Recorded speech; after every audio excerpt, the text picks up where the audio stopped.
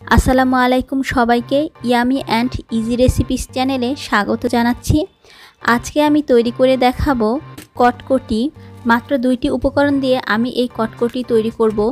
সাথে থাকছে কিছু টিপস। চলুন শুরু করা যাক। প্রথমে আমি যে পাত্রে কটকটি সেট করব, সেই পাত্রে একটি বেকিং পেপার নিয়ে নিয়েছি।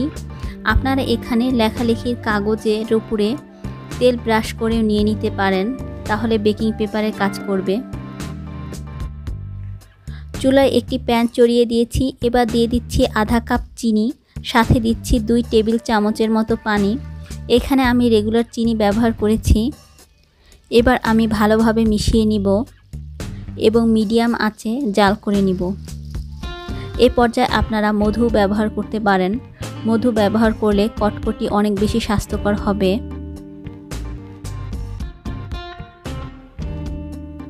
মাঝে মাঝে এভাবে চামিচ দিয়ে নেড়ে দিচ্ছি এবং ক্যারামেলের কালার আসা পর্যন্ত অপেক্ষা করছি। ক্যারামেলের কালার আসা শুরু হয়েছে। এ পর্যায়ে আমি কড়াই এভাবে একটু দুলিয়ে নিচ্ছি যাতে সব দিকে সমানভাবে কালার আসে। সাত আট মিনিটের মধ্যে দেখা যাবে ক্যারামেলের সুন্দর একটি কালার চলে এসেছে। এ পর্যায়ে আমি চুলাটি বন্ধ করে দিব। এবং ক্যারামেল চুলা থেকে নামিয়ে নিব। এবার ২০-৩০ সেকেন্ডের মতো ক্যারামেল একটু ঠান্ডা করে নিব। এখানে আমি বেকিং সোডা ব্যবহার করব। বেকিং সোডার দামের একটি ধারণা দিচ্ছি। একশো গ্রাম বেকিং সোডা পাবেন পঞ্চাশ টাকায়। এবার আধা চা চামচ বেকিং সোডা দিয়ে দিচ্ছি এবং খুব ভালোভাবে মিশিয়ে নিচ্ছি। দেখুন ক্যারামেল কি সুন্দর ফুলে উঠেছে। এবার এভাবে ভালোভাবে নেড়ে সাথে সাথে সেই বেকিং পেপারে ঢেলে দিব।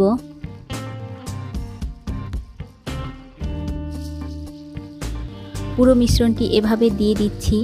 এ পর্যায়ে কিন্তু হাত দিয়ে ধরা যাবে না, কারণ খুবই গরম থাকে। আর চামিচ দিয়ে সমান করার কোনো দরকার নেই, কারণ এটি আপনি আপনি নিজের অবস্থান নিয়ে নেবে। এবার কটকটি পুরোপুরি ঠান্ডা হওয়ার জন্য অপেক্ষা করব। এটা কিন্তু অবশ্যই বাতাস থেকে দূরে রাখবেন। পুরোপুরি ঠান্ডা হয়ে গেছে। এ পর্যায়ে আমি কয়েকটা টিপস দিয়ে নেই। ক্যারামেলের কালার ডার্ক করা যাবে না। হালকা লাইট থাকতেই নামিয়ে নিতে হবে। না হলে ক্যারামেল পিতা হয়ে যাবে, যা খেতে ভালো লাগবে না। ক্যারামেল হয়ে গেলে প্যান সাথে সাথে চুলা থেকে নামিয়ে নেবেন। না হলে চুলার তাপে আরও বেশি ডার্ক কালার চলে আসবে। এরপর 30-40 সেকেন্ডের মতো ঠান্ডা করে নেবেন এবং তারপর বেকিং সোডা অ্যাড করবেন। চুলায় থাকতে যদি বেকিং সোডা অ্যাড করেন, তাহলে কিন্তু কটকটি ঠান্ডা হওয়ার পর বেশিক্ষণ মচমচা থাকবে না। কটকটি ঠান্ডা হবার সাথে সাথে একটি এয়ারটাইট কন্টেনারে সংরক্ষণ করতে হবে। ঠান্ডা হওয়ার পর বেশিক্ষণ বাইরে থাকলে কটকটি নরম হয়ে যাবে।